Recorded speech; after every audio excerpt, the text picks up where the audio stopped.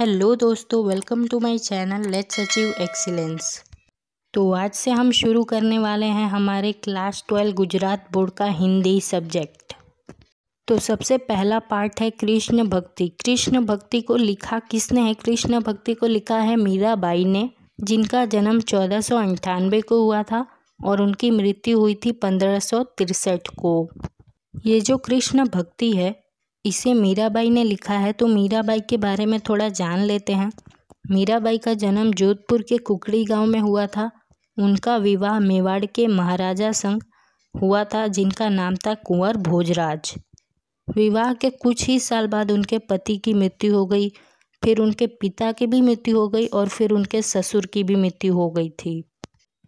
जब मीराबाई के पति की मृत्यु हुई तब घर वालों ने और समाज वालों ने उन्हें बहुत ज़्यादा दबाव दिया कि तुम्हें सती होना पड़ेगा।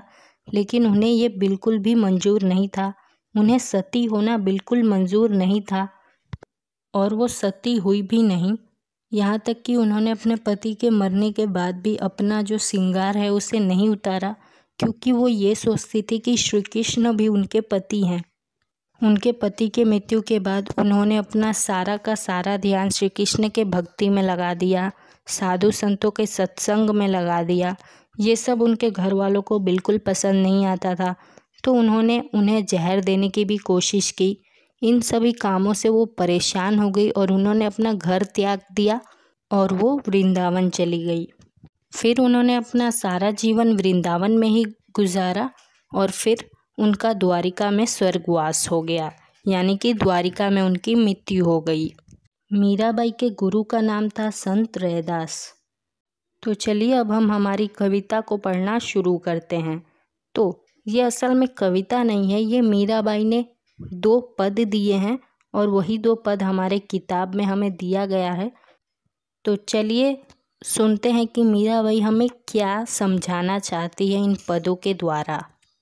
पहले पद से वो हमें ये समझाना चाहती है कि श्री कृष्ण उन्हें दर्शन नहीं दे रहे हैं और वो उनके वियोग में बहुत तड़प रही हैं।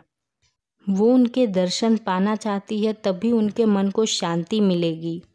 तो पहली लाइन से शुरू करते हैं, हरि बिन कुछ ना सुहावे। मीराबाई कहती हैं कि उन्हें अपने हरि के बिना कुछ भी नहीं सुहा रहा है, यानी उन्हें अपने श्री कृष्ण के बिना कुछ भी अच्छा नहीं लग रहा है। परम स्नेही राम की नीति ओलूरी आवे। यानी वो कह रही है कि जो उनके श्री कृष्ण हैं, वो बहुत स्नेही है। वो ऐसे हैं कि उनसे किसी को भी बहुत जल्दी प्रेम हो जाएगा। राम हमारे हम हैं, हम राम के। हरि बिन कुछ ना सुहावे। वो कहते हैं कि भगवान मेरे हैं और मैं भगवान की हूँ और मुझे उनके बिना कुछ भी अच्छा नहीं लग रहा है। आवड़ कह गए, अजहू ना आए जीवड़ा अति उकलावे। यानी कि मीराबाई हमें कह रही हैं कि श्री कृष्ण ने उन्हें कहा है कि वो ज़रूर आएँगे, यानी वो उन्हें ज़रूर दर्शन देंगे।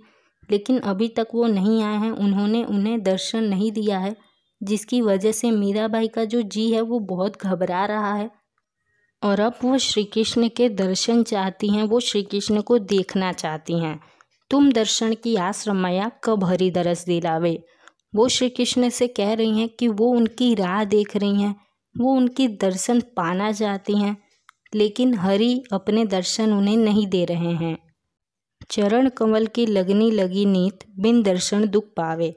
तो वो कह रही हैं कि उनके जो भगवान हैं श्री कृष्ण, उनके जो चरण हैं, वो एकदम कमल की तरह हैं। और अब वो उन कमल को, यानी अब वो उनके चरणों के दर्शन पाना चाहती हैं, वो बहुत दुखी हैं कि उन्हें भगवान दर्शन नहीं दे रहे हैं।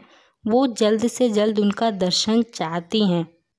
मीरा के प्रभु दर्शन दीजियो, आनंद बरणियों न जावे। वो कह रही हैं कि, हे मेरे मीरा के प्रभु, यानी कि हे मेरे प्रभु, आप मुझे जल्दी से दर्शन दे दीजिए। जब आप मुझे दर्शन दे देंगे तो मेरे आनंद का ठिकाना नहीं रहेगा, मुझे बहुत आनंद मिलेगा और मेरे मन को भी बहुत शांति मिलेगी तो मुझे दर्शन दे दीजिए।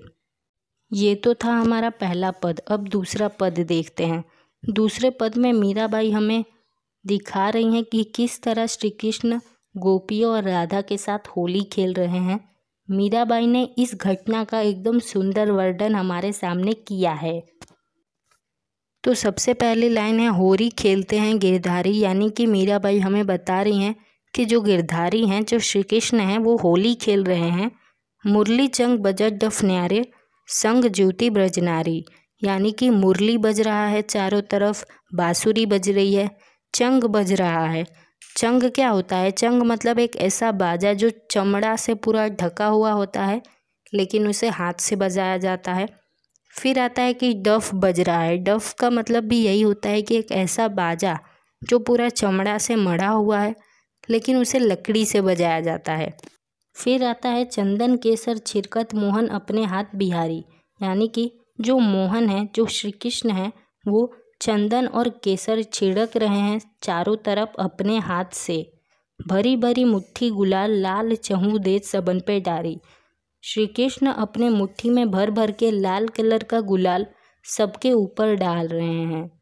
छैल छबीले नवल कान संग श्यामा प्राण प्यारी। यानी कि यहाँ पे श्री कृष्ण को दूसरा नाम दिया गया है छैल छबीला। तो मीराबाई कह रही हैं कि ये जो छैल छबीले हैं, इनके साथ में राधा भी है और राधा को यहाँ पे श्यामा कहा गया है। गावत चार धमार राग तह दे दे कल करतारी। यानी कि श्री कृष्ण जो है, वो साथ में गाना भी गा रहे हैं और यानी कि गीत भी गा रहे हैं और साथ साथ में ताली भी बजा रहे हैं। फागो जो खेलत रसिक सांवरी, बाड़ियो रजब्रज भारी। तो श्री कृष्ण के साथ राधा, होली तो खेल ही रही हैं, लेकिन साथ में इतने सारी गोपियाँ हैं जो श्री कृष्ण के साथ होली खेल रही हैं। तो इतने सारे लोग जब होली खेल रहे हैं तो पूरा ब्रज गुलाल से भरा हुआ है। मीरा के प्रभु गिरधार, नागर मोहन लाल बिहारी। तो मीराबाई कहती है, आखिर ये जो प्रभु हैं, वो मेरे हैं और वो ऐसे हैं कि वो सबको मोह लेते हैं। तो चलिए यहाँ पे वीडियो को ख़त्म करते हैं और अगर आपको ये वीडियो अच्छा लगा तो वीडियो को लाइक करके चैनल को सब्सक्राइब कर दीजिए। कुछ भी डाउट हो, कुछ भी नहीं समझ आया हो, आप कमेंट कर दीजिए और बहुत जल्दी आएगा दूसरा पार्ट, नमक का दारोगा। तो इस चैनल पे बने रहिए। Bye bye